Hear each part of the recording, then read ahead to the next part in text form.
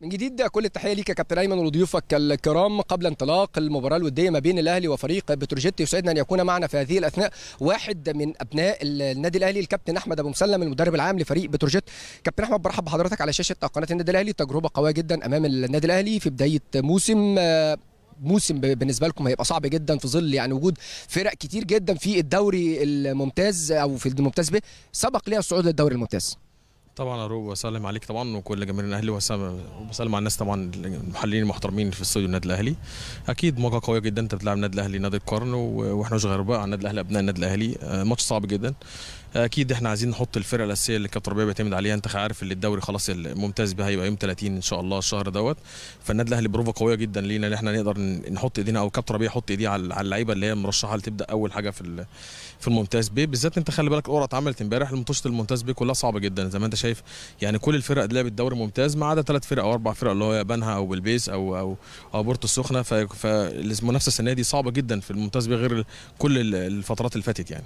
عندكم بدايه عندكم بدايه قويه جدا مواجهة أمام فريق الداخلية ثم داخل في مج... في وقت صعب مع عندي الترسانه وعند منتخب السويس والقناة. وزي ما قلت المباراه كلها صعبة والمواجهات كلها صعبة.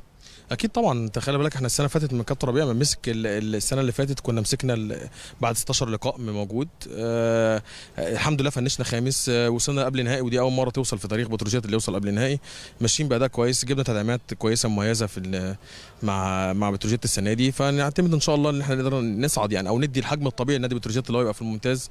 فده اللي بنسعى عليه كل الجهاز الفني كابتن ربيع عصين فأكيد النهارده نلعب قدام النادي الأهلي نادي كبير ودي زي ما قلنا الصفقات كلها. أنت خلي فمعانا لعيبة ما لعبتش مع قدام النادي الأهلي أو كانت بتشجع النادي الأهلي بس. فأنت لما تلعب قدام النادي الأهلي النهارده حاجة كبيرة جدا. وتاني حاجة أنت بتديهم دافع اللي هو يبقى موجود في الصورة أو موجود اللي هو لعب قدام بطل بطل أفريقيا يعني.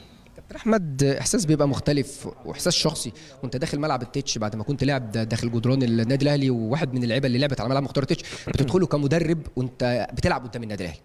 أكيد طبعا إحساس النهارده إن أنا فرحان. أنا أول ما جيت والله من أول ما دخلت عند الصالة كده قلبي اتسحب كده. يعني زي ما كنا الحتة بتاعت المدرجات دي كنا موجودين هنا أيام ما كنا بنلعب. والفترة اللي فاتت يعني النادي الأهلي يعني ذكرياته كمان النادي الأهلي بشكر مجلس اداره النادي الأهلي بالكابتن.